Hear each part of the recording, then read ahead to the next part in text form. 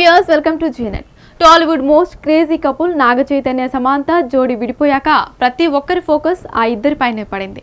విడాకుల వ్యవహారాన్ని మర్చిపోయి వారు తమ తమ కెరీర్లపై ఫుల్ ఫోకస్ పెడుతుండగా సినీ అభిమానులు మాత్రం వారి కదలికలనే గమనిస్తున్నారు. తాజాగా అక్కినేని నాగ చైతన్య కెరీర్కి సంబంధించిన ఓ ఇంట్రెస్టింగ్ న్యూస్ వైరల్ అవుతోంది. చైతన్య ఓ హీరోయిన్తో డేటింగ్లో ఉన్నాడనే వార్తలు ప్రచారం జరుగుతున్నాయి. ఆ హీరోయిన్ ఎవరో కాదు శోభిత ధూళిపాల అని ఫిల్మ్ వర్గాలు చెబుతున్నాయి.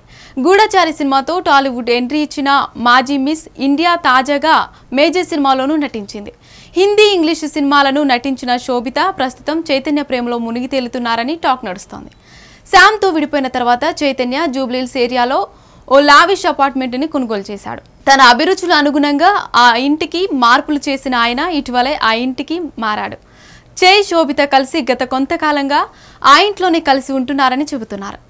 ఇటీవల జరిగిన శోభిత పుట్టినరోజు వేడుకకు కొద్ది మంది సన్నిహితులు మాత్రమే హాజరయ్యారు. వారిలో నాగ చైతన్య ఉన్నారనే చర్చ కూడా జరుగుతోంది. పుట్టినరోజుకి సంబంధించిన ఫోటోలు కూడా బయటకొచ్చాయి.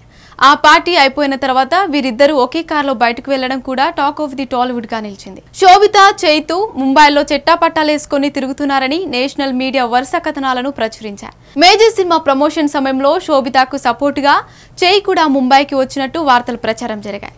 ఇక వీరిద్దరు త్వరలోనే పెళ్ళి చేసుకోవడం ఖాయమనే టాక్ నడుస్తోంది. దీనిపై క్లారిటీ రావాలంటే కొన్ని రోజులు ఆక తప్పదు. జరుగుతున్న ప్రచారంతో అక్కినేని అభిమానులు షాక్లో ఉండిపోయారు.